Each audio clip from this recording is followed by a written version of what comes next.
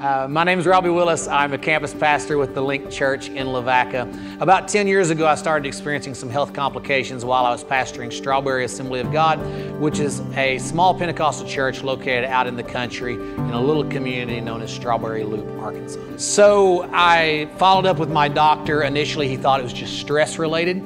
Uh, that continued to become exaggerated over the next few years. It would happen more frequently, leading up until more symptoms started really in 2014. Uh, until then, it was mainly the, the, the, fainting spells and some rigidness on the right side of my body. The day I was diagnosed, our local church was in the middle of a 25 hour prayer meeting. And a young man was in the sanctuary praying, a teenager in our church, when my phone rang. And it was my neurologist calling to tell me he had the results of my DAT scan, along with everything else he had been evaluating, and was now confident that I had young onset Parkinson's disease. As he explained to me what that meant, uh, I came to understand that it was uh, incurable, that it is progressive, and that he was, wanted to encourage me that I should have another five years of reasonable health left. I was 36 years old at the time. My health was steadily deteriorating. My neurologist told me that how things developed over the first year after I was diagnosed would be a strong indicator of how the disease would progress from there forward. And based on that, it was kind of concerning. I was taking all the medication he had prescribed, which was helping a lot, but my health was still going downhill pretty quickly. We were actively engaged in ministry, my, my wife and I. And uh, by October of 2017, I was really concerned about what the future looked like. So in late October, a pastor friend called and he asked if I remembered a lady by the name of Mary Davis, and I did not, but he began to explain to me who she was, and she had been there when I preached some of my early messages when I was 17, 18 years old. And as he talked, I remembered uh, who he was talking about. She had had a dream. She lived in Texas, and she had had a dream that she came and prayed for me at the church I was pastoring, and God healed me. She had never been to the church where I pastored, and her dream was very specific. And so, after telling me about what she had dreamed, he asked if they could join us that Sunday night for joint services. And of course, I, I agreed gladly. So, in that service that night, I was, I was physically unable to lead service that evening. And so I had let my associate lead instead.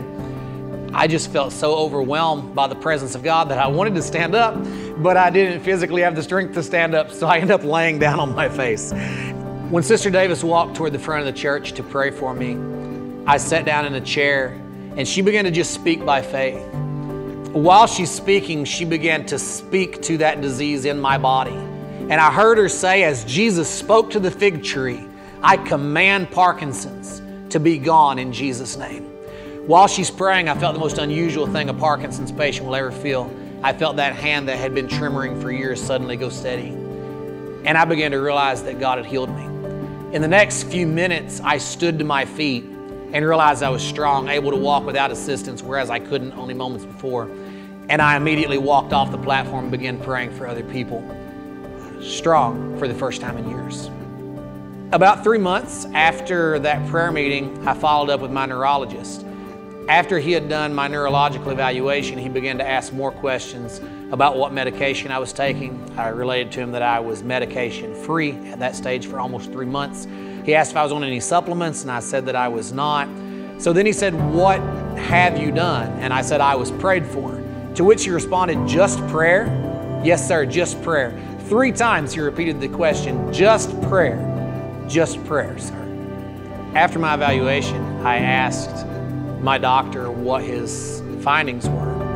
And he responded very simply, You have no signs of Parkinson's disease.